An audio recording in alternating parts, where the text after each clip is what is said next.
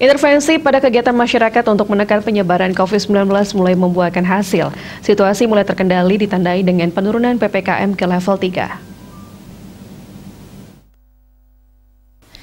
Bupati Klungkung Inyoman Suwerte selaku Ketua Satgas COVID-19 Kabupaten Klungkung kembali mengingatkan warga agar jangan lengah sedikit pun perihal disiplin penerapan prokes.